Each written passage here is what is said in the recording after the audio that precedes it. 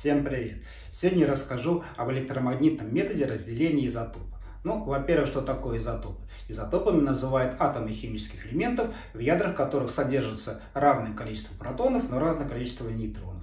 Таким образом, они имеют разный атомный вес при одинаковом зарядовом числе. Например, э, самый распространенный изотоп водорода, обычный водород, состоит из одного протона, вокруг которого вращается один электрон а более редкий изотоп, называемый тяжелым водородом или дейтерием, в составе ядра имеет помимо протона еще один нейтрон, ну и вокруг них также вращается один электрон. Ну и, наконец, э, третий изотоп, называемый сверхтяжелым, либо третьим, э, содержит помимо протона уже два нейтрона, вокруг которых вращается все так же один электрон. Таким образом, дейтерий тяжелее обычного водорода в два раза, а третий в три раза. В природе, как правило, преобладает один из изотопов, а другой или другие изотопы представлены а, в меньшем процентном содержании. Так, тот же самый тяжелый водород дейтерий э, имеет распространенность всего лишь порядка 0,02%, а все остальное обычный водород. А, существует несколько способов разделения изотопов, и один из них это электромагнитный метод. Он, наверное, будет э, самым легким э, с точки зрения понимания и будет э, доступен даже в понимании девятикласснику, знакомым по курсу школьной физики, с действием магнитного поля на движущиеся заряды. Как известно, на движущуюся заряженную частицу в магнитном поле со стороны этого поля действует сила, известная как сила Лоренца. И эта сила зависит у нас от трех величин. от заряда движущейся частицы, от ее скорости и от силы магнитного поля, его магнитной индукции. Если мы условно изобразим положительно заряженную частицу, пускай она у нас летит вверх, а магнитное поле направлено перпендикулярно к нам, Э, со стороны этого поля будет действовать сила, направленная вправо. Напоминаю, что а, направление силы определяется с помощью правила так называемой левой руки. Если мы а, расположим а, ладонь левой руки таким образом, чтобы линии магнитной индукции входили в ладонь, а пальцы были направлены вдоль движения положительно заряженной частицы, то отогнутый большой палец покажет направление действия сил. Соответственно, частица движется вверх, индукция входит в руку, палец показывает направление силы. Все очень просто эта сила будет все время перпендикулярна скорости, и поэтому она будет ее закручивать.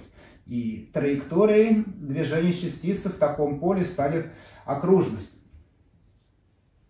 При движении по окружности возникает центростремительное ускорение, и тогда по второму закону Ньютона мы можем э, записать, что МА центростремительное равно вот этой силе, силе Лоренца. Соответственно, записав ускорение, выразив ускорение через э, линейную скорость и радиус окружности, сократив с обеих сторон скорости, и мы можем выразить радиус. Радиус окружности, по которой будет двигаться частица, получается, будет зависеть от четырех величин от массы, э, скорости частицы, ее заряда и магнитной индукции. Э, если у нас движутся два разных изотопа, то они имеют одинаковый заряд, но разную массу. И тогда, глядя в эту форму, что мы можем сказать? У этих изотопов будет одинаковая скорость, одинаковый заряд, ну и, соответственно, магнитное поле тоже одинаковое, разная только масса. А, и тот изотоп, у которого масса больше, будет двигаться по окружности большего радиуса, а тот, у которого масса меньше, соответственно, поменьше.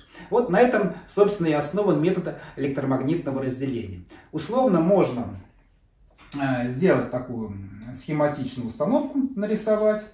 Э, пусть есть какая-то камера, из которой откачан воздух здесь располагается источник ионов, а здесь располагаются приемники. Ну, мы нарисуем э, для этой простой схемы всего два приемника.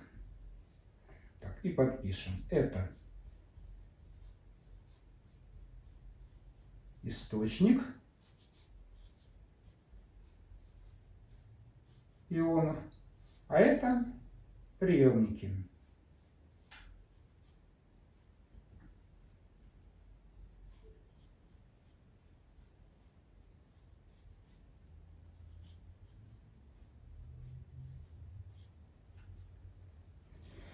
Ионы, находящиеся в источнике, разгоняются под действием э, электрического поля. Нарисуем его вот так вот.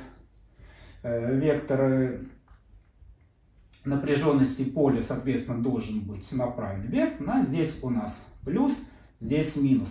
Положительно заряженные ионы будут под действием электрического поля э, двигаться и разгоняться э, до данной установки по схеме вверх. А, будут двигаться сюда, а здесь, в этой камере, создается э, магнитное поле. Также его нарисуем э, кружочками сюда, обозначающими, э, что линии магнитного поля направлены к нам.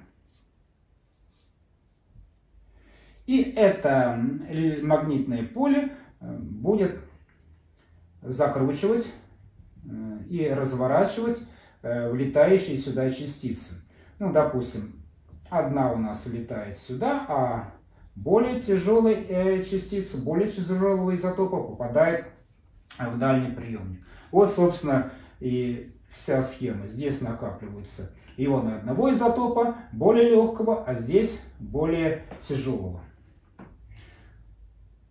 Собственно, схема совсем простая, и возникает вопрос, а почему же этот способ э, все-таки э, не, не является преимущественным и, э, в общем-то, при, использовать, применять его стали далеко не сразу.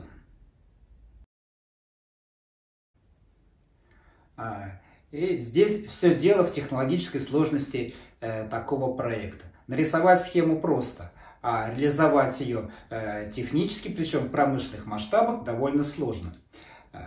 Для того, чтобы получить ионы, нужно, во-первых, э, получить э, газообразное вещество, то есть нагреть его до такой температуры, чтобы оно превратилось в пар. Затем этот пар надо ионизировать э, в газоразрядной камере и После этого полученные ионы нужно направить, соответственно, в камеру для разделения создать э, пучок этих ионов, которые затем будут разделяться в зависимости от э, химического и изотопного состава исходного вещества на э, какое-то количество конечных пучков ионов, которые, соответственно, будут попадать в расчетные приемники.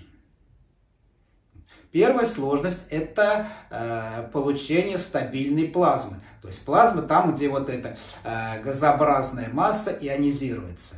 Э, эта плазма довольно нестабильна, неустойчива, и э, чтобы сделать ее, а любая неустойчивость, э, соответственно, ведет к расфокусировке пучка, который потом может попасть куда угодно, но только не в приемник. Потом придется эти ионы отскребать где-то от стенок камеры. Так вот, чтобы этого не, не было, должно быть очень стабильное напряжение да, электрическое, за счет которого создается эта плазма. Это раз. Да?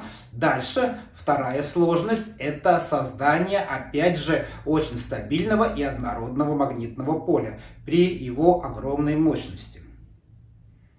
И третья сложность заключается в приеме этих ионов. Ведь а, ионы, они движутся, причем движутся с большими скоростями, и их надо, захватив этот приемник, там удержать. Они легко оттуда могут вылететь под действием все того же электрического поля, действующего в округе, и, ну, в конце концов, э, просто теплового движения. А, и помимо всего этого, во всей установке должен быть создан глубокий вакуум, то есть там порядка 10 минус 6 э, частиц. Да? И такой вакуум невозможно создать простым поршневым насосом, то есть для этого опять же должны быть специальные технологии. Вот э, решив эти все э, сложные технологические проблемы, можно, собственно, э, запускать такой процесс. К преимуществу э, электромагнитного метода разделения изотопов э, следует отнести его универсальность и высокую точность. Он одинаково хорошо работает как с тяжелыми, так и с легкими изотопами, а степень обогащения исходной смеси нужным изотопом в нем достигает 80 более процентов.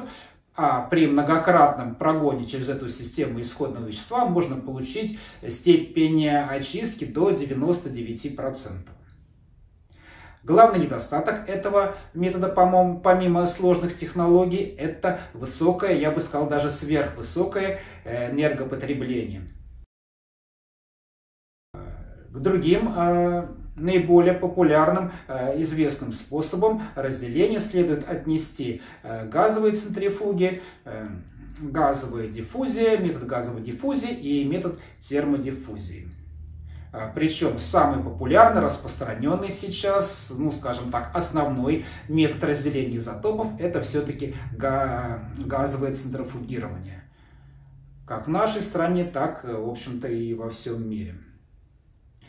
Все эти способы, так же как электромагнитный, основаны на разном атомном весе изотопов.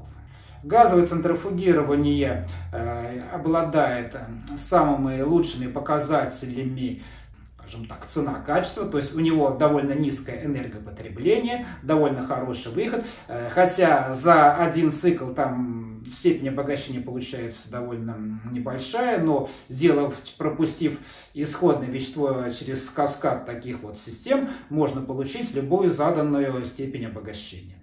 Это также высокотехнологический процесс, и многие механизмы, элементы этого являются, этой системы являются секретными.